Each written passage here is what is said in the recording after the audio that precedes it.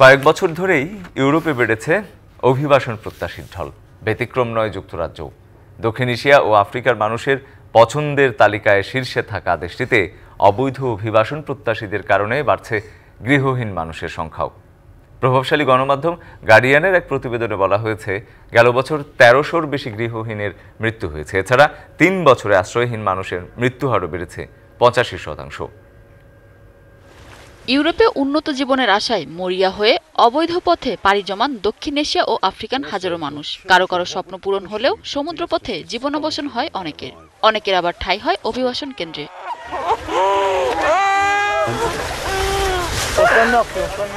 সম্প্রতিকালে ইউরোপে উদ্বেগজনকভাবে বেড়েছে গৃহহীন মানুষের সংখ্যা। যুক্তরাজ্যে যার সংখ্যা প্রায় তিন লাখ, যার মধ্যে রয়েছে এক লাখ তেইশ হাজার শিশু। শীত, গ্রীষ্ম, বর্ষা উপেক্ষা করে পার্ক কিংবা ফুটপাথে খোলা আকাশের নিচে রাত কাটান গৃহহীন মানুষ। তাপমাত্রা কমে যাওয়া, অসুস্থ হয়ে পড়া, সহিংসতা বেড়ে যাওয়া সহ বিভিন্ন কারণে গৃহহীন মানুষের মৃত্যুহার বাড়ছে।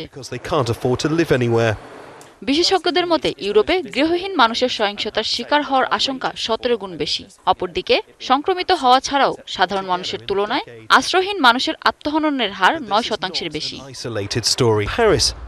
গেল তিন বছরে আশ্রয়হীন মানুষের মৃত্যুহার পঁচাশি শতাংশ বেড়েছে বলে জানিয়েছে দাতব্য সংস্থাগুলো। শুধু দুই সালে যুক্তরাজ্যে তেরোশোর বেশি গৃহহীন মানুষের মৃত্যু হয়েছে যাদের গড় বয়স তেতাল্লিশ বছর যা ব্রিটিশ নাগরিকদের প্রত্যাশিত আয়ুর প্রায় অর্ধেক। গৃহহীন মানুষের সংখ্যা দ্রুত বাড়ার জন্য বাড়তি ভাড়া কল্যাণ তহবিলের কাটছাড় এবং সামাজিক আবাসনের অভাবের মতো বিষয়গুলোকে দায়ী করা হচ্ছে। তবে আসার কথা হোমলেস রিডাকশন অ্যাক্ট নামে বহুল প্রতীক্ষিত প্রজেক্ট হাতে নিয়েছে ব্রিটিশ সরকার যার আওতায় দু হাজার সাতাশ সালের মধ্যে সকল গৃহহীন মানুষের বাসস্থানের ব্যবস্থা করবে ব্রিটেন সরকার। মিনাফের মিনা ফেরদাউস ডিবিসি নিউজ ডেস্ক